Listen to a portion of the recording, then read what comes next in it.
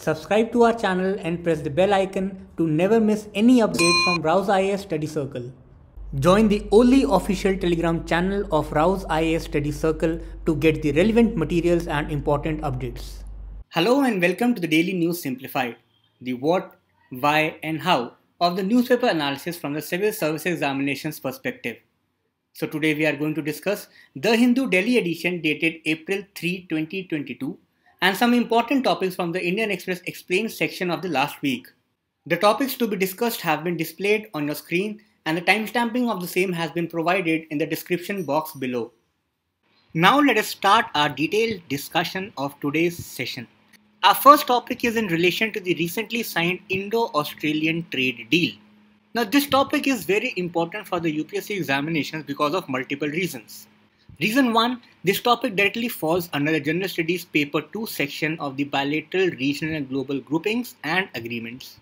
Reason 2, this is one of the very first agreements signed by India with some developed country. Reason 3, India and Australian relations are very important from the economic as well as strategic point of view for India as well as Australia. And reason 4, India and Australia both lie in the Indo-Pacific region. And we all know that in recent years, Indo-Pacific diplomacy has gained a lot of significance in the backdrop of rising China, US-China conflicts, as well as the rising stakes of countries like India, Australia and Japan. So because of all these reasons, this topic becomes very important for the UPSC mains perspective. The context of this very article is that recently India and Australia have signed economic cooperation and trade agreement with an intention to double the bilateral trade to $50 billion in 5 years. The relations are not restricted to the narrow domains of the trade, it also includes the services part. And that is why it also focuses on easing the movement of people, goods and services across the border. So as we have discussed that India-Australia ECTA is the first trade agreement of India with any of the developed country. This agreement has taken place after more than a decade and it is an all-encompasses and holistic agreement which deals with the entire gamut of the bilateral economic and commercial relations. It deals with multiple areas like trades in goods, rules of origin, trades in services, technical barriers to trade, sanitary and phytosanitary barriers, dispute settlements, etc. So in a way, this economic cooperation and trade agreement is a holistic agreement. Now we all know that any economic relation is built on two important parameters. One is the trade in goods and other is the trade in services. So that is why in a very brief manner we will look at certain impacts or benefits of this agreement for India as well as Australia. As far as the trade in goods is concerned, India will benefit from the preferential market access which is provided by Australia to the Indian players. Similarly, Indian government has also provided a preferential access to the Australian players. But the point is that India has strength in certain areas and Australia has strength in the other areas. And that is why this mutual relationship is going to benefit both the countries. For example, the Australian market will be made ready for India for the products like gems and jewelry, textiles, leather, footwear, furniture, food and agricultural products, engineering products, automobiles. So India commands its own position in all these areas. On the other hand, Australia commands dominance in areas like primary raw materials as well as intermediaries such as coal, mineral ores and wines. Now, as far as the services is concerned, we all know the strength of India in terms of service exports. And that is why the Australia has offered wide-ranging commitments in service sectors for the Indian interests in areas of business services, health, education, audiovisual, etc. And in this very line, Australia has provided certain key offers. For example, special quota for the chefs and the yoga teachers post-study work visa for two to four years for the Indian students. And on the other hand, India has offered market access to Australian services like business services, communication services, construction and related engineering services. So this particular column shows you that this will be going to be a mutually beneficial relationship between India and Australia in terms of goods as well as in terms of services. Now we will look at certain significance of Australia to India. First is the economic significance. The bilateral trade of India and Australia annually is around $25 billion. That is why both the countries are now aiming to take this trade to dollar 50 billions as we have already discussed. Second, Australia presently is a key partner to the India's Make in India initiative and it also has a very high potential to remain a key partner in future also because it provides a lot of investment opportunities for the Indian players in mining and energy industry of Australia. Further, we all know that India continuously struggle with the issues of finances and capital. And in this very sense, India can leverage its National Investment and Infrastructure Fund, which can offer an investment opportunities to Australian investment funds. The second important area of the significance for India is the energy sector. We all know that Australia is a huge source of coal, uranium, as well as natural gas. Now, in present times, we all are aware about the issues which India is facing in terms of getting oil from Russia in the backdrop of Russia-Ukrainian war. So that is why India needs to diversify its energy sources in terms of the countries also. The third important aspect of cooperation is the maritime order. Now both the countries are democratic in nature and they share a common wisdom of free, open, inclusive and rule-based Indo-Pacific region. The next important aspect is defense. We all know that because of the unilateral and dominant increase and expansionism of China has put the countries of Indo-Pacific rim together, whereby we come across four major countries like India, Australia, Japan and USA. And all these countries have taken an important step of formation of Quad. And India as well as Australia are also committed to the principles of multilateralism. The last important aspect is the people to people contacts. Now, Australia has the presence of strong diaspora of Indian population. Further, India is the second largest source of international students in Australia also. And we have discussed that how Australia and India are going to be mutually beneficial for each other. So this particular topic has appeared in today's The Hindu Daily edition at page number 1. This topic is in relation to the kangaroo species recently found in the Indian forests. And that is why this topic becomes very important because this is something unusual as we all know that kangaroos are not the native species not only of the India but of the entire Asian continent. Kangaroos are not native to the Asian continent. So that is why let us begin the discussion the context of this very topic is that recently the forest officials of the Baikuntpur Forest Division, now this Baikuntpur Forest lies in the state of West Bengal. They got the report from the local villagers, local people that the local people have seen certain kangaroos hopping about in their forests. So obviously initially the forest officials did not believe but later on when they investigated this case they found that the news as reported by the local people was true.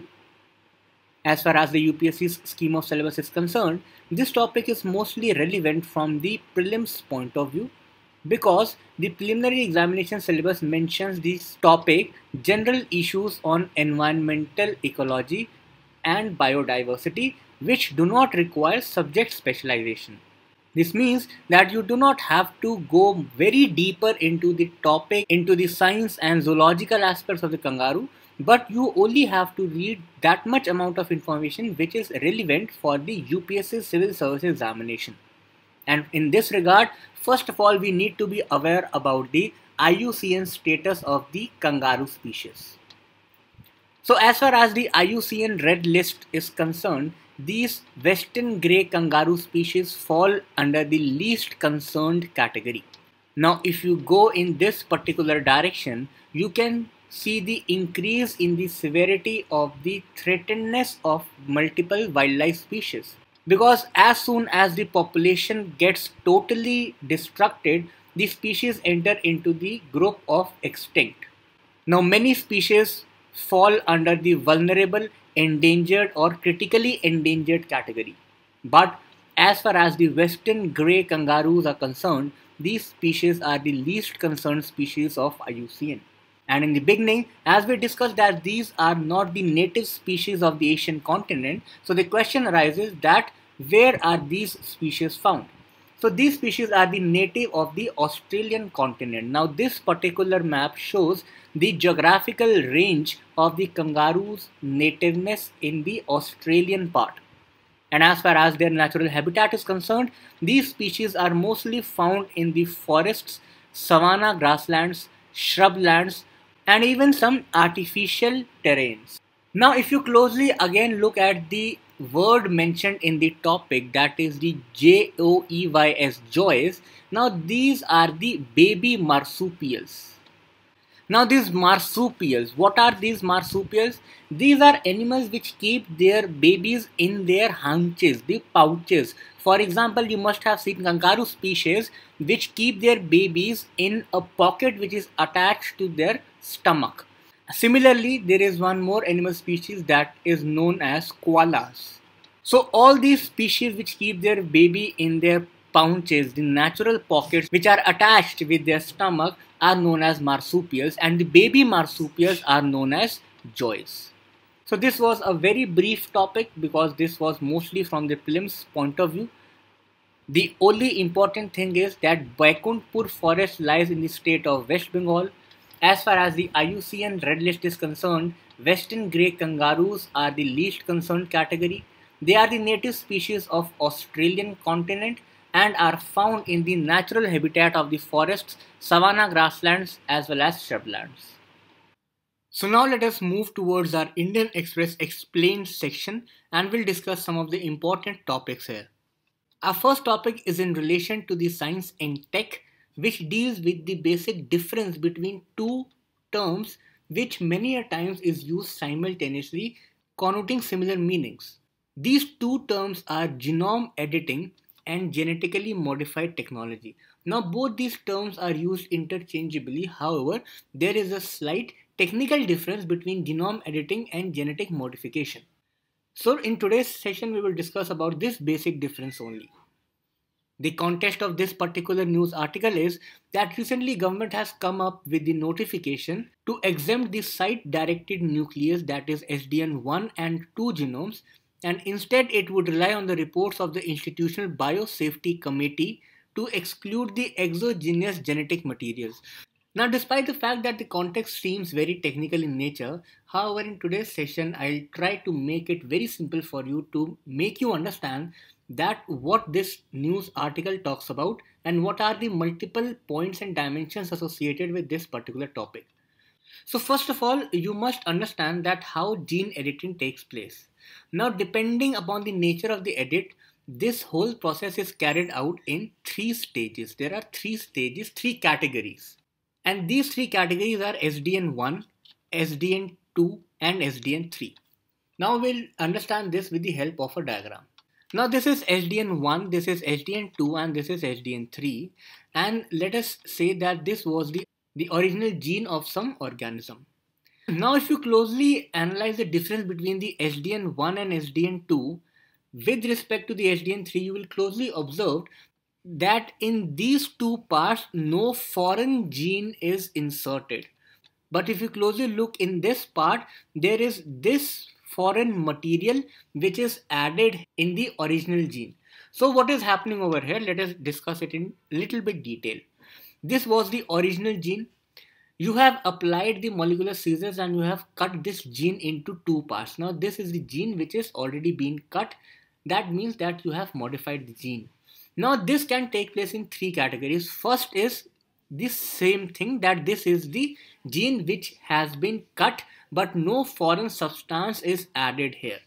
So that is why it says that SDN1 introduces the changes in the host genome's DNA through small insertions or deletions without introduction any foreign genetic material. Here there is no foreign genetic material. Now come to SDN2. Now what SDN2 is doing that SDN2 has cut some part from the original gene, modified this particular part but without using any foreign gene. Okay, so this star symbol shows this original gene is modified and then the modified part is again attached to the original gene and thus the picture becomes like this. Now this is the modified part in the original gene itself and then again attached to the gap which was left after cutting. So this is SDN2. Now come to the SDN3. This is the targeted insertions. That means now you have cut this particular this original gene and you have introduced this one foreign substance into it and that is why this is a red color between the original gene now here the foreign substance is being included so this is SDN3 now SDN1 and SDN2 because here no foreign substances are being used here just here there is just a modification of the original gene the end result is indistinguishable from the conventionally bred crop varieties. But on the other hand, SDN3 process which involves the larger DNA elements or full-length genes of foreign origin makes the original gene altogether a different gene. Clear? So here lies the basic difference between the genetically modification and genetic engineering. Now, genetically modified organisms, that is GMOs, involve the modification of the genetic material of the host by introduction of a foreign genetic material. Now, just recall some genetically modified crop like BT cotton. What were we doing in BT cotton? We were using the bacteria known as Bacillus thuringiensis and we were inserting the gene of that particular bacteria into the crop of cotton so that it can fight with the disease so again, we have here used the foreign material and that is why we call these crops as genetically modified crops. But now we are talking about genome editing. Here you are not using any foreign substance, you are just editing the genome of some crop. It does not involve the introduction of the foreign genetic material. Clear? So now we'll come to the regulatory aspects. Now what was done earlier is that whenever you have to introduce some genetically modified crops, so the main body to regulate all this process was the Genetical Engineering Appraisal Committee, that is GEAC. But the process to grant this removal was very cumbersome. And now, because we know that there's a difference between genetically modified crops and genetically engineered crops, we have separated the regulatory mechanisms for these two things. And that is, and now you can understand the context of this very article in a better way. The context says that the notification has exempted the SDN1 and SDN2 genomes, that is the genetically engineered, and instead it would rely on the reports of the Institutional Biosafety Committee. So there are several competent authorities under the rules of 1989 that is the rules for manufacture, use, import, export and storage of hazardous microorganisms, genetically engineered organisms or cells. So these are the competent authorities. First is the Recombinant DNA Advisory Committee which is which has an advisory role. Then we have three committees. First is the Genetically Engineering Appraisal Committee Second is the Review Committee on Genetic Manipulation. And third is the Institutional Biosafety Committee. Now see again, these two committees are different and now we know that they have different functions. All these three committees have regulatory role. Next, we have at the state level the State Biotechnology Coordination Committee, and at the district level, we have District Level Committee. Now, at the state and the district level, these committees have only the monitoring role. So I hope that you have got the basic difference between the genome editing and the genetic modification. The difference is on the basis of the insertion of foreign substance. This topic is again from the Indian Express Explained section and is in relation to the Darlong community of the state of Tripura. The context of this very topic is that Darlongs, which is a very small community of around 11,000 people in Tripura, was recently included in the list of the scheduled tribes after the Lok Sabha passed the Constitution Scheduled Tribes Order Amendment Bill 2022. Earlier, this community was not having a separate unique identity as scheduled tribe in the list of multiple scheduled tribes of the state. but recently it is been included and that is why this topic becomes very important from the UPSC's perspective.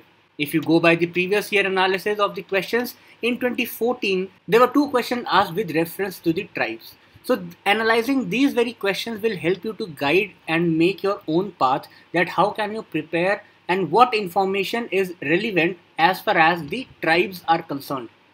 Let us look at the question asked in UPSC 2014. The question said that every year a month long ecologically important campaign or festival is held during which certain communities or tribes plant the saplings of fruit bearing trees. Which of the following are such communities or tribes? So the idea of this particular question is activity oriented. That is, the question is asked on the theme of the activity which is done by various tribes. So that means that whenever you prepare some tribes, their unique activities are also to be prepared. As far as this particular question is concerned, option B that is Gond and Korku tribes is the correct answer.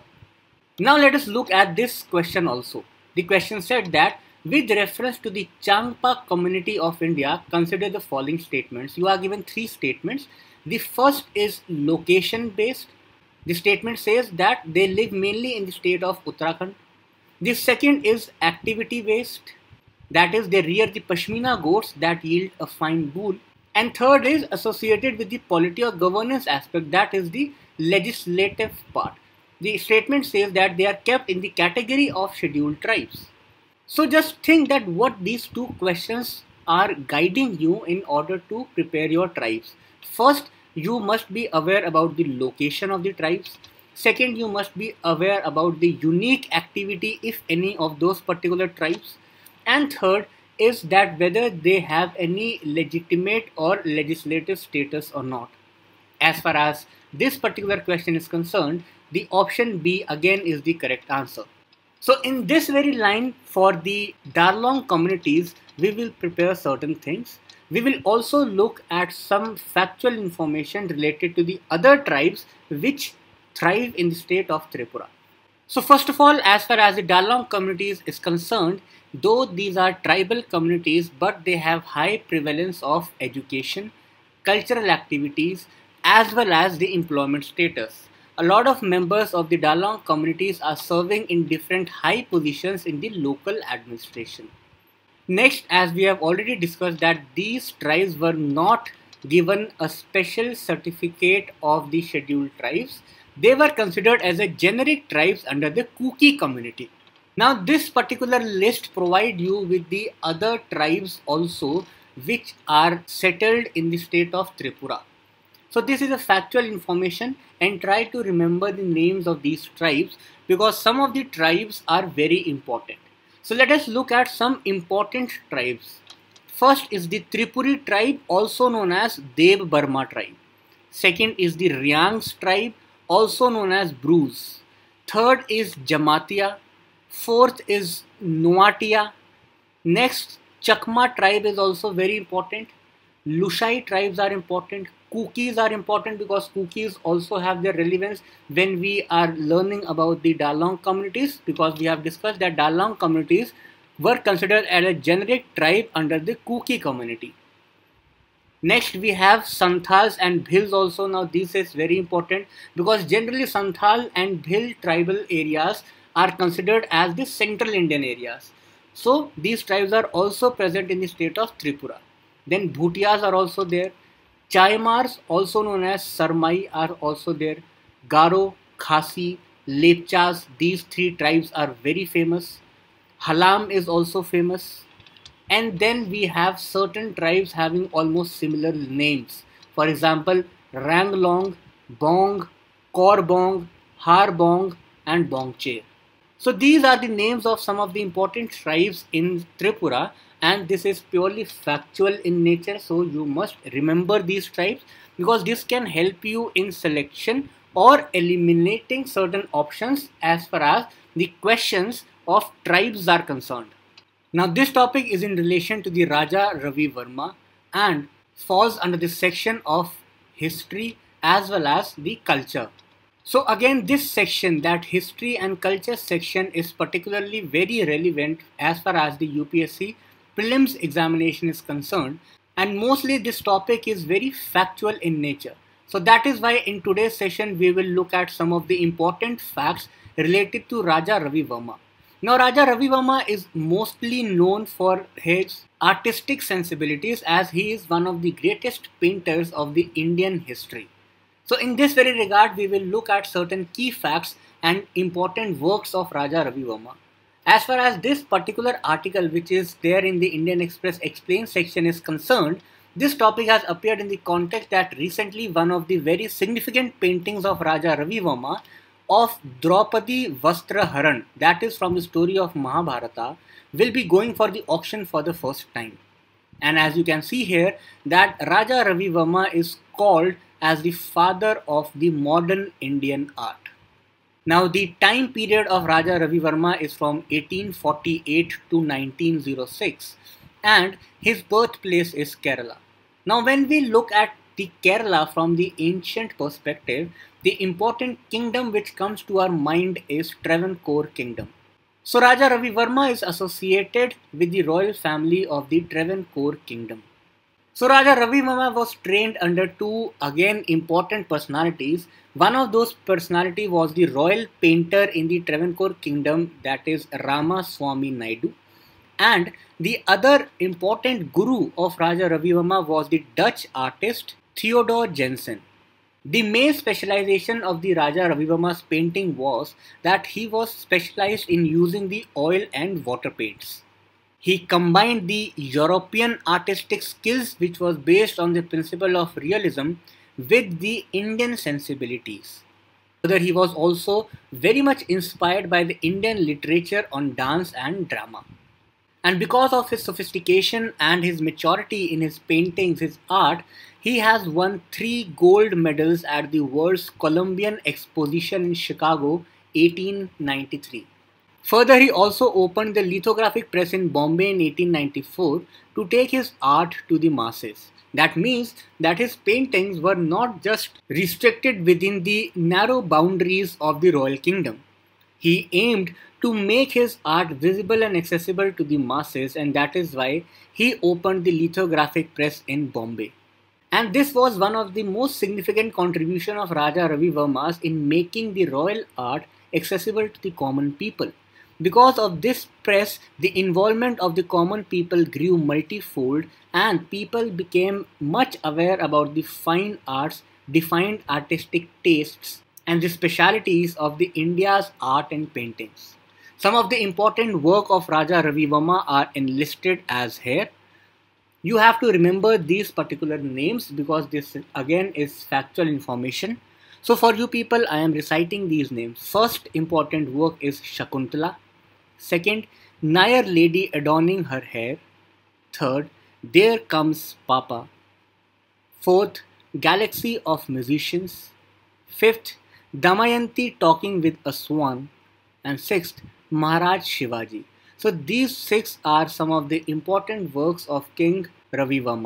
Further, in modern times, to make us more aware about the achievements of the Raja Ravi Varma, the Bollywood has also taken an important step. In 2014, Hindi language film that is Rang Rasiya came on the box office which showcased the important features of Raja Ravi Varma's art.